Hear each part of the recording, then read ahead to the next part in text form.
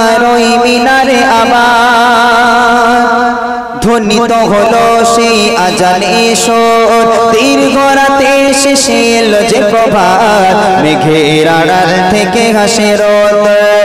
আয়া সোফিয়ার ওই মিনারে আবার ধ্বনিত হলো সেই আজানে সোর দীর্ঘ রাতের শেষে এলো যে প্রভাত মেঘের আড়াল থেকে রোদ মেঘের আড়াল থেকে রোদ। আয়া সোফিয়ার ওই মিনারে আবার ধ্বনিত হলো সেই আজানে দীর্ঘ রাতের শেষে এলো যে প্রভাত মেঘের আড়াল থেকে রোদ মেঘের আড়াল থেকে হাসে রোদ। দিকে দিকে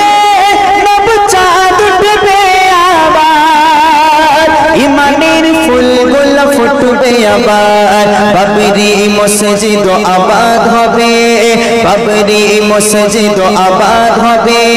চারিদিকে শোনা যাবে আজান মধুর দিকে দিকে ইমানের ফুলগুলো ফুটবে আবার। বাবরি মসজিদ আবাদ হবে, বাবরি মসজিদ আবাদ হবে।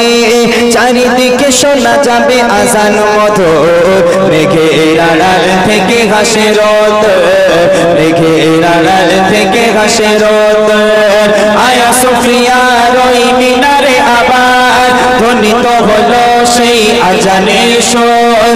দীর্ঘ শেষে এলো যে প্রভাত। মেঘের আড়াল থেকে ঘাসের রোদ। মেঘের আড়াল থেকে ঘাসের রোদ। আয়া সোফিয়ার ওই মিনারে আবার। ধ্বনিত হলো সেই আজানে সোর দীর্ঘ রাতের শেষে এলো যে প্রভাত। মেঘের আড়াল থেকে ঘাসের রোদ। মেঘের আড়াল থেকে হাসে রোদ। যারা সত্যিকারের নামাজি হবে যারা সত্যিকারের নামাজি হবে, যখন মসজিদে মুয়াজ্জিন সাহেব আজান হাঁকবে, তারা চুপচাপ কিন্তু বসে থাকতে পারবে না। ভাই, ছিয়াশি বছর পর আয়া সোফিয়া মসজিদকে আবার নতুন করে নামাজ শুরু করা হলো। এই তুরস্কের মানুষগুলো কি করতো? বাড়িতে নামাজ পড়তো? ভাই, বাড়িতে নামাজ পড়ার, মসজিদে নামাজ পড়ার মধ্যে অনেক পার্থক্য আছে। মসজিদে যখন মুয়াজ্জিন সাহেব হাঁকে, আমার চাচা জানেরা আছে ভাইরা আছে, বাবুরা আছে, যারা মাঠে মাঠে ঘাটে কাজবাজ করে, মাঠে কাজবাজ করছে, হঠাৎ করে মসজিদ থেকে একটা সাউন্ড ভেসে আসে, কি?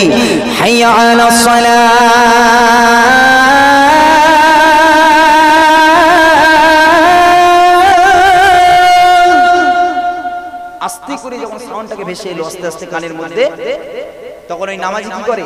তখন আর কাজ করে? মনের মধ্যে কিন্তু ছটপট ছটপট শুরু হয়ে যায়। ইস, আজান হয়ে গেল, আজান হয়ে গেল। বাড়ি গিয়ে আমাকে গোসল করতে হবে।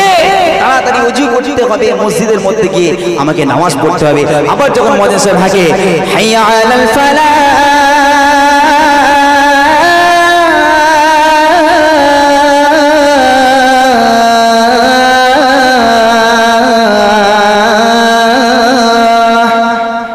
ওই চাচা ওই আজকের মাঠে ঘাটে আর কাজ করে না, সঙ্গে সঙ্গে চলে যায়, বাড়িতে গিয়ে করে মসজিদের পথে রওনা হয়ে যায়, নামাজ পড়ে তো আয়া সুফিয়ার মসজিদে যখন দেব দেবীর মূর্তিকে রাখা হলো, তখন ওই যে নামাজি ব্যক্তি কাজবাজ সেরে নিয়ে মসজিদের মধ্যে গিয়ে যে তৃপ্তিটা পায়, ওই তুরস্কের মানুষগুলো যখন মসজিদ থেকে মূর্তিগুলোকে বার করে দিয়ে আবার জুম্মার নামাজকে শুরু করা হলো, তখন এই তুরস্কের মানুষগুলো ঠিক সেইভাবে মনে একটু শান্তি পেয়েছিল। তাই কই বলছে, দিকে দিকে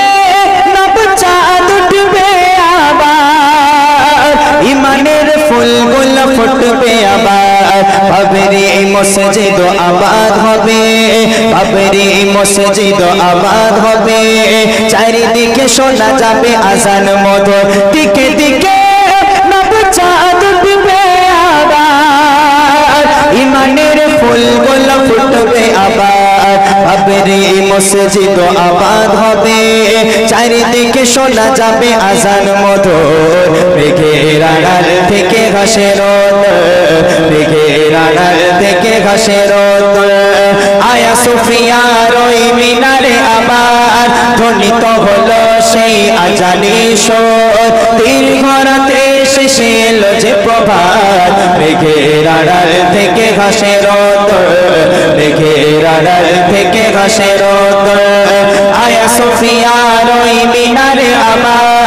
ধ্বনিত হলো সেই আজানে সোর শেষে এলো যে মেঘের আড়াল থেকে হাসির মেঘের আড়াল থেকে হাসে রত আমার একজন বৃদ্ধা দাদু আছে।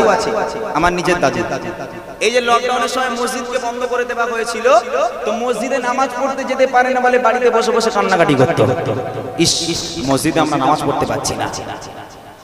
ভোরের বেলা যখন আজান শুনছে, ঘুম আসছে না যে আমরা প্রত্যেকদিন ভোরের বেলা মসজিদে নামাজ পড়তে যাই। দুরাকাত নামাজ পড়ে যখন আমরা বাড়িতে আসি, তখন আমাদের গায়ে একটা অন্যরকম এনার্জি চলে আসে। কত শান্তি লাগে মনে যে আমরা ফজরের নামাজকে আদায় করেছি। যখন মুয়াজ্জিন সাহেব মসজিদে আজান হচ্ছে, তখন শুয়ে আছে। আর দাদু যান শুয়ে শুয়ে কাঁদছে, আল্লাহ, মসজিদে নামাজ পড়তে যেতে পারছে না, আল্লাহ। বাড়ি নামাজ পড়ে কি তৃপ্তি পাওয়া যায়? মসজিদে আবার হচ্ছে মিনান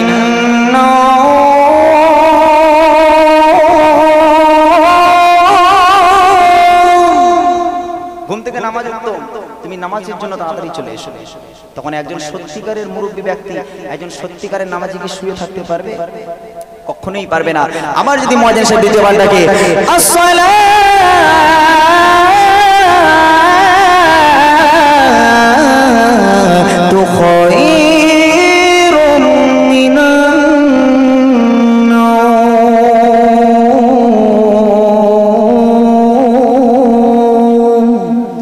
তখন ওই ব্যক্তি সঙ্গে সঙ্গে উঠবে, উঠে অজু করে আজকে নামাজের পাটিতে দাঁড়িয়ে দাঁড়িয়ে কান্নাকাটি করবে। আল্লাহ! আমাদের দুনিয়ার মুখে থেকে পৃথিবী থেকে মহামারী, করোনা নামক এই যে মহামারী এসেছে, এই যে আজাব এসেছে, এই আজাবকে খোদা দূর করে দাও। নতুন করে মসজিদে আমরা আবার যাই, মসজিদের মধ্যে গিয়ে নামাজ পড়ি। আর এইসব মসজিদ বন্ধ হয়ে আছে, তাহলে সেখানকার মানুষের কি অবস্থা? আকসা আমি আর একটা মসজিদ আছে, যে মসজিদ এরকম বন্ধ করে দেওয়া হয়েছিল। সেই আকসার কথা শুনবেন? আকসার মিনার পাবে চারিদিকে ইমানের সুর বিলাবে। মুসলমানের জয় হবে আবার, মুসলমানের জয় হবে আবার। জুলুমের আধার গোল হয়ে যাবে তোর আকসার মিনার মুক্তি পাবে। চারিদিকে ইমানের সুর বিলাবে মুসলমানের জয় হবে আবার, মুসলমানের জয় হবে আবার। জুলুমের আধার গোল হয়ে যাবে দোর, মেঘের আড়াল থেকে ঘাসের মেঘের আড়াল থেকে ঘাসের আয়া সুফিয়া রই মিনারে আবার। ধ্বনিত হলো সেই আজানে সোর দীর্ঘ রাতের শেষে যে প্রভাত। মেঘের আড়াল থেকে ঘাসের মেঘের আড়াল থেকে ঘাসের আয়া সুফিয়া রই মিনারে ধ্বনিত হলো সেই আজানে সোর দীর্ঘ রাতের শেষে এলো যে প্রভাত। মেঘের আড়াল থেকে ঘাসের মেঘের আড়াল থেকে ঘাসের মেঘের আড়াল থেকে হাসির